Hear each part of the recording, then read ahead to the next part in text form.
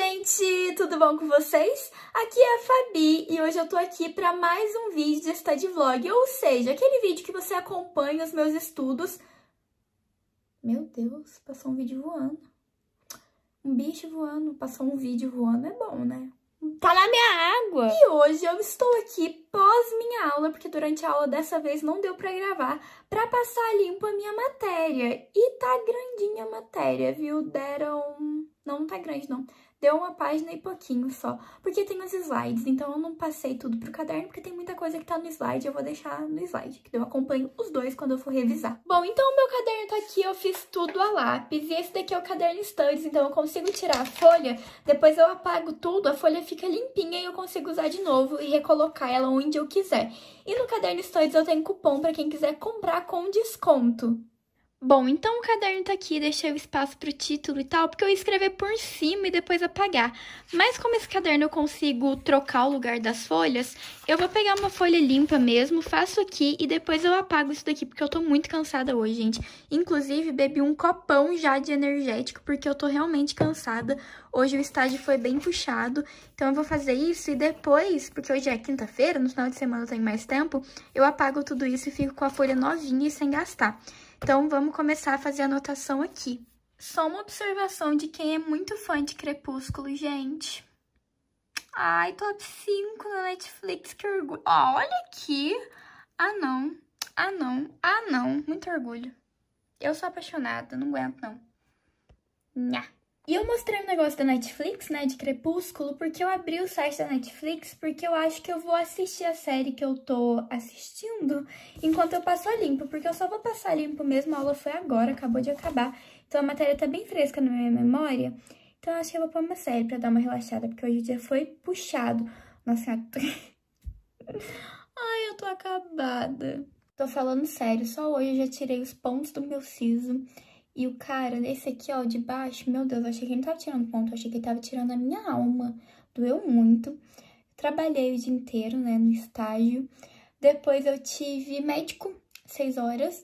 E depois eu ainda vim pra aula e agora eu vou continuar estudando. Então hoje meu dia realmente tá muito puxado, tô bem cansada. Então acho que eu vou colocar a série que eu tô assistindo, que é muito legal, vou mostrar pra vocês. Olha só, se chama Os Segredos de Manchide, Manchade, Manchide, sei lá o nome disso. Conta a história de uma menina de 15 anos que foi encontrada morta numa floresta de uma cidade super pequena.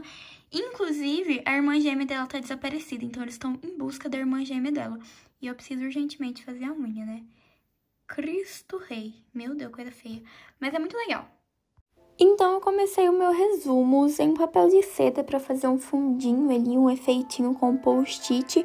Rasguei a mão mesmo, que eu acho que fica mais bonito do que cortando certinho, e fui fazendo as minhas anotações. Então fica a dica para vocês, restos de papel que você vai jogar fora, às vezes é muito útil para você fazer decoração nos seus resumos. Então restinho de papel, post-it, embalagem de pão, tudo, gente. Pega um envelopinho, uma caixinha e vai guardando, que mais cedo ou mais tarde você vai usar. É muito legal fazer essas montagens, sabe? Colocar um papel sobreposto ao outro, eu acho que fica um efeito bem joinha. A caneta preta que eu tô usando é da marca Unibol, da linha Unipin, e eu tô usando a de ponta 0.6. E a caneta azul metálica que vocês viram, que eu até fiz a setinha aí, é a caneta da Pilot da linha Pop Low, e essa, como eu disse, é a metálica de ponta 0.7 milímetros. Para fazer o título e usando como marcador também, tipo marca-texto, eu tô usando a caneta da Crayola, a Super Tips, que é essa caneta aí que eu tô usando nesse momento, que ela tem a pontinha cônica, então dá para fazer a letra mais grossa, mais fina, então é bem legal. E eu resolvi fazer mais uma vez uma sobreposição entre papel e post-it. Como o papel de bolinha é mais difícil de dar destaque no escrito, eu coloquei ele por baixo e usei um post-it liso azul para fazer, né, a anotação da frase e coloquei ela por cima, então. Acho que assim ficou melhor para visualizar e mais bonitinho também. E enquanto isso, eu tava assistindo minha série. Olha só, gente, estou fazendo minhas anotações aqui, aquele resumo tá se tornando esse resumo. E aí, vocês acham que tá ficando legal? Vocês gostaram dessa sobreposição que eu fiz? Assim, hoje eu queria dar uma relaxada. Normalmente eu não capricho tanto. É porque isso daqui é meio terapia, sabe? Fazer essas coisinhas pra mim é terapia. Então, quando eu tô estressada, quando eu tô cansada, ou hoje, por exemplo, que eu tô estressada, cansada e com dor, daí eu faço essas paradas e vou assistindo uma série. Nó, precisando limpar. Mas, normalmente, quando eu preciso de agilidade mesmo, eu não faço essas coisinhas, não.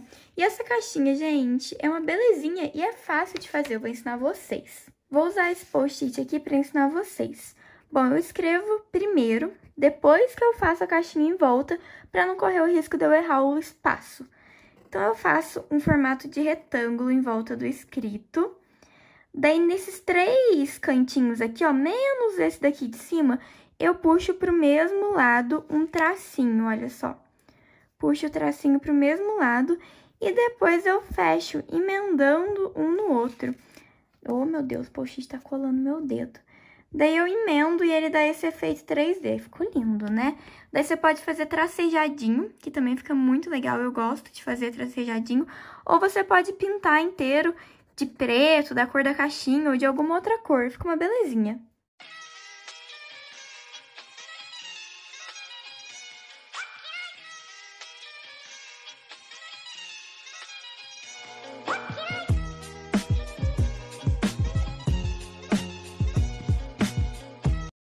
Gente, terminei o resumo.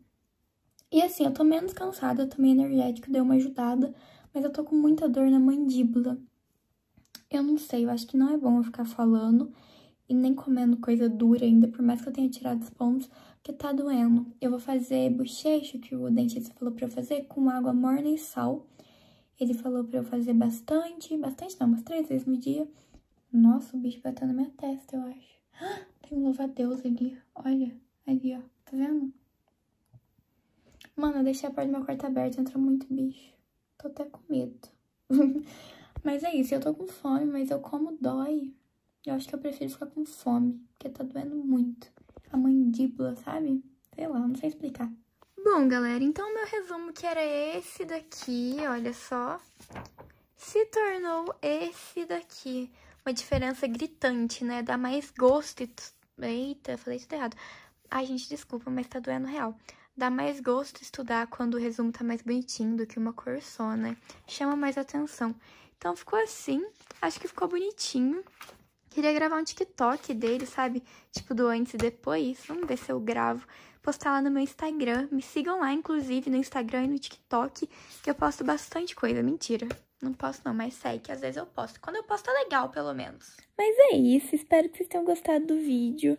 Eu não sei se tá inchando de novo, eu acho que não. Mas eu vou lá tentar comer um pouquinho, porque eu tô com fome.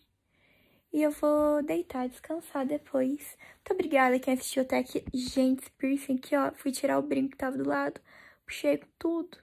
Ele entrou no meio da minha orelha, mas voltou. Tá tudo bem, eu acho. É isso. Beijos e fui!